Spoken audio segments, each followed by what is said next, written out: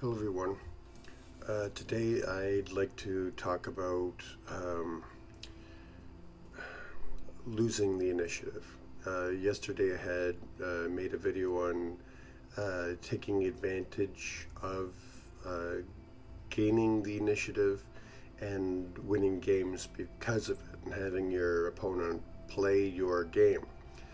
Now um, again, I went back to uh, some of the games that I had played before online, and I had come across one uh, November 3rd, uh, 2023.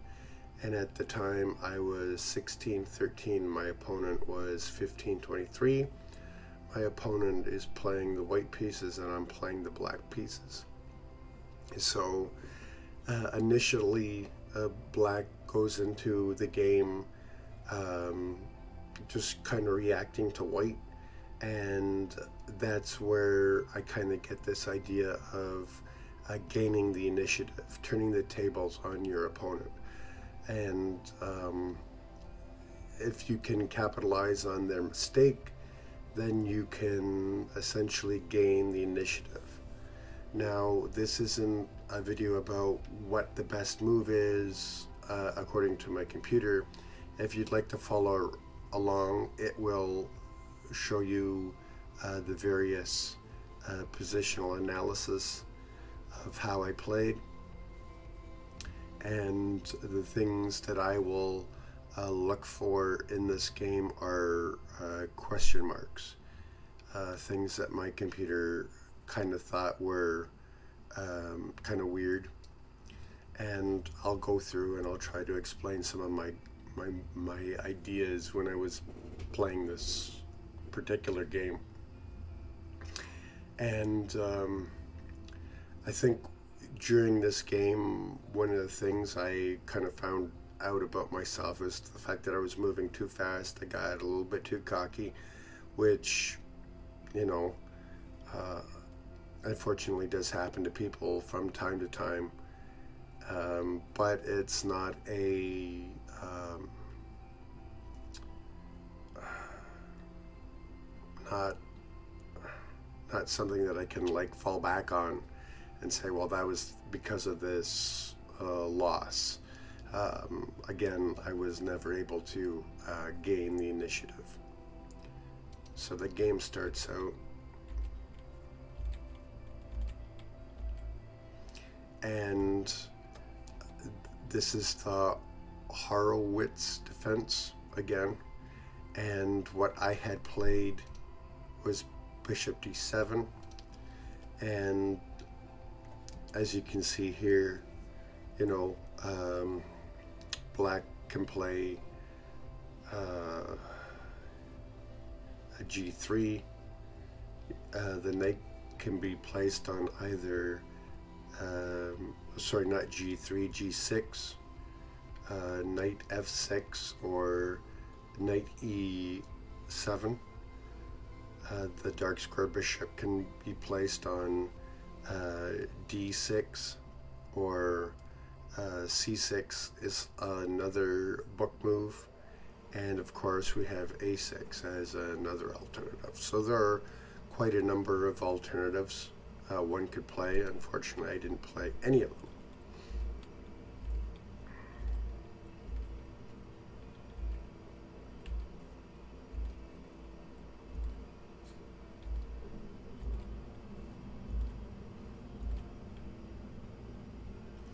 Now this was uh, an interesting move. Uh, my opponent, well, not my opponent, but an, an interesting move that I had played that my computer was kind of questioning. And um, it really doesn't do very much other than I was trying to defend the bishop. And I still have the ability uh, to castle uh, kingside. Or I can hopefully uh, develop my knight in order to castle queenside but I'd rather have more uh, pawns in front of me and I think castling uh, queenside is probably uh, not a very uh, good thing to do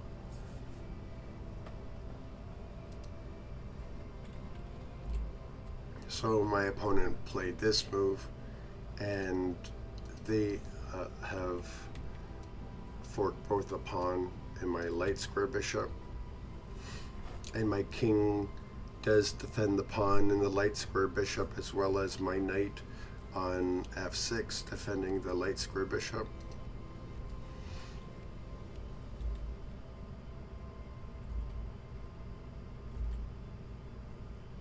This move here, my computer thought was kind of an interesting move, but really doesn't do much. And my idea behind this was to prevent my opponent from castling kingside. And the way that I had done that was just to uh, block one of the uh, squares needed for my opponent to castle uh, kingside.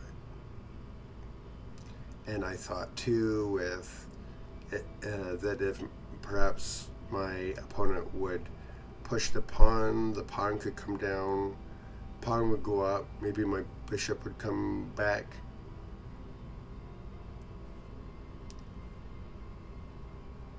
the game continued and my opponent came down and attacked my light square bishop, trying to push it out of the way.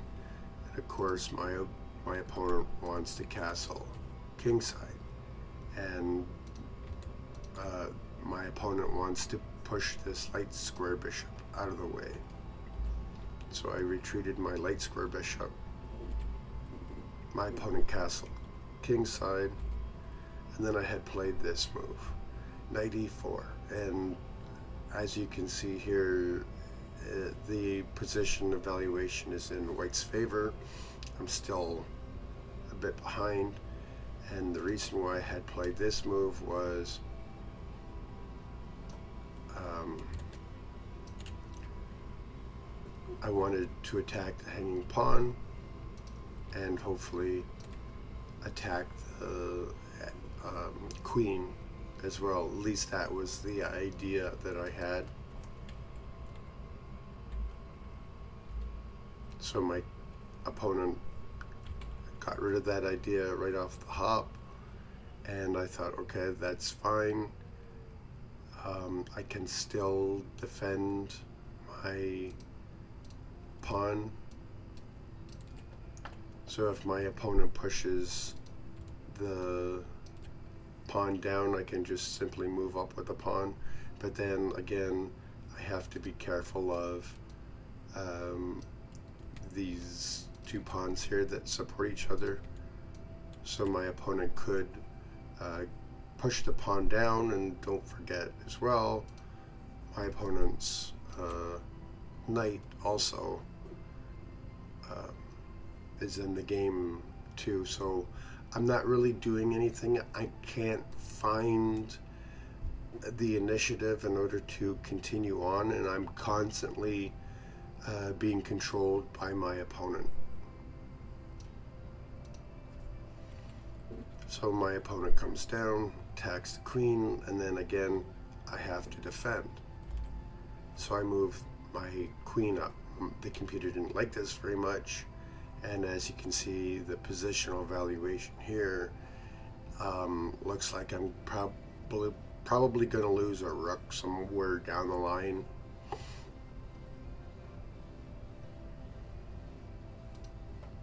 And then, of course, my opponent comes down and now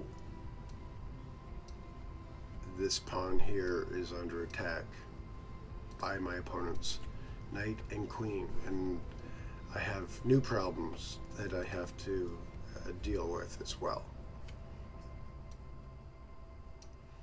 So what I thought I what I thought was a good idea was pushing the pawn to g6 but it's not well, it's o- it's okay, I guess. Um, I had thought that maybe my opponent could maybe come down here and somehow maybe wiggle over here, you know, threatening the pawn, maybe even threatening the rook. That might be a short-term solution, but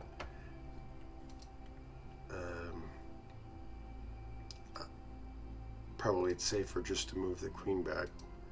So my opponent moves the queen over. And then uh, there's this threat here. And I have to be careful uh, not to move this pawn because it defends this light square bishop. And I think the idea behind this was somehow to um, capture the the uh, light square bishop somehow in order to uh, gain control of uh, perhaps these two squares with my oh, um, the opponent's knight would uh, control. But then it's like, how do you get rid of this light square bishop? So I went ahead and castled kingside.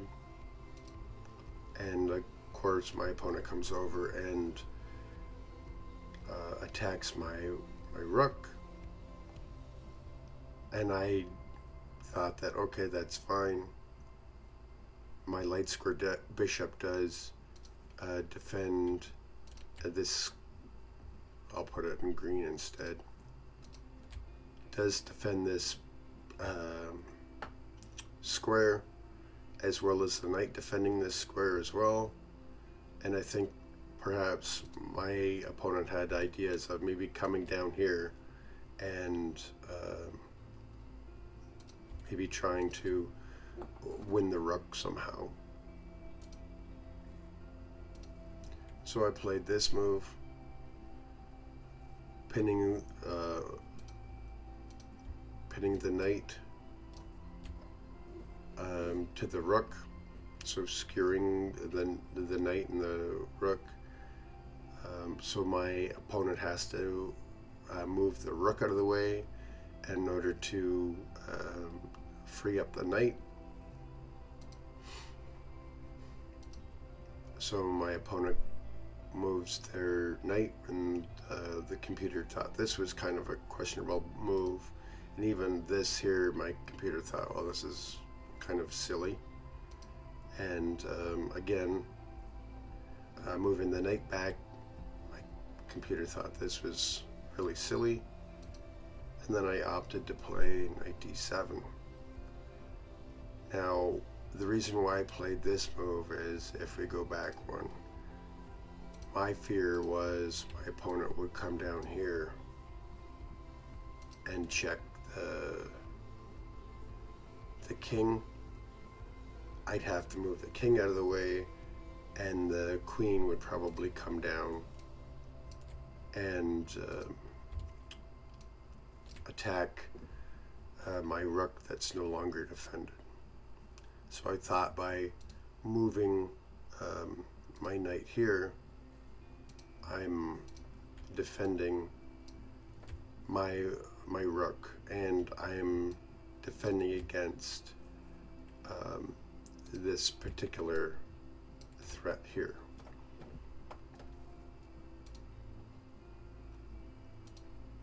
So my opponent played this move, and then I come up and I try to push the knight away. I didn't think anything of this move,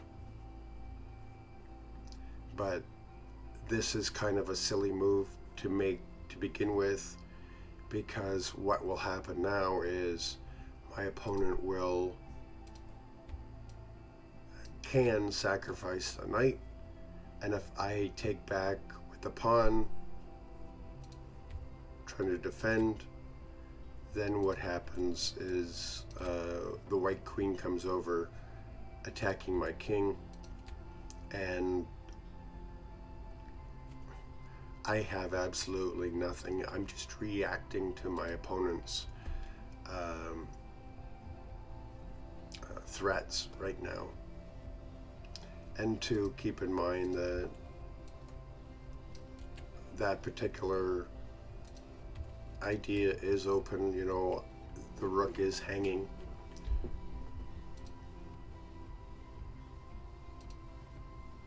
And again here, as I said before about taking the knight, my opponent right now is attacking these two squares here. So there's not much I can do. My knight is defending the rook here as well as the rook being defended. And uh, there is also uh, the threat here, which will fork my queen and king. So there's a lot going on here, a lot of threats. And um, my opponent, you know, has the initiative in this game. So I thought, okay, let's move up here. Maybe that would be an idea. You know, taking this uh, square away from my opponent because of the rook.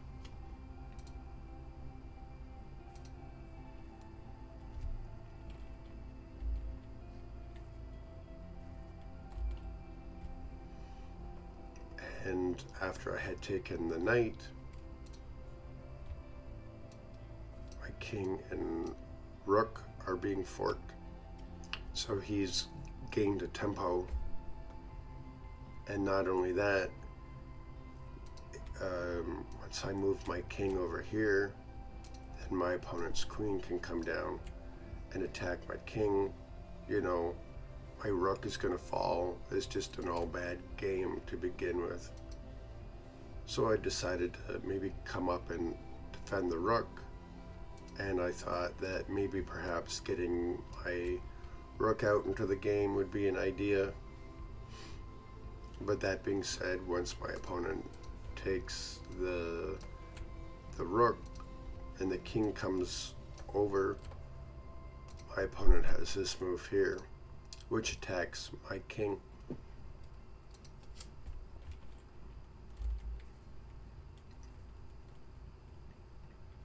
So my opponent takes the rook, and the computer thought that this was kind of silly, thought that, oh, your position has uh, changed somewhat, and of course I make a move like this that maybe perhaps I shouldn't have. Maybe I should have just let the knight go, but I'm not too sure how I would uh, be able to continue on in this uh, position. Perhaps, uh, perhaps exchanging the knight, I mean the light square bishop for the rook would have been a better idea. But then that being said, well, no, that's uh, that's uh, not a very good move for my opponent. I thought, well, if my opponent comes down here to attack the king, they lo they'll lose their queen with this rook over here, so that's not an option at all. There is the option here, though, to come up here and attack uh, my king. Keep uh, even more pressure on my my king. So, as I said before, I came over and took the the knight, and then of course my opponent comes down and uh, checks my king, and you know my king is going to move away someplace. I got um, I got a hanging pawn here. You know that um, I'm not quite sure how the game would continue on, but I'm not doing very well uh, right now. I do have these two uh, moves here. But my opponent just, there's just too much pressure with the queen coming down. So that's how that ended up. I wasn't able to gain the initiative in order to um, uh, make like uh, to capitalize on my opponent's mistakes and um, that being said I probably should have looked at the board a little bit better but like I said I can make excuses all day long. I just wasn't able to get the initiative uh, from my opponent and uh, try to fight fight back. Now if you're interested to see how the game might play out I'll show that to you now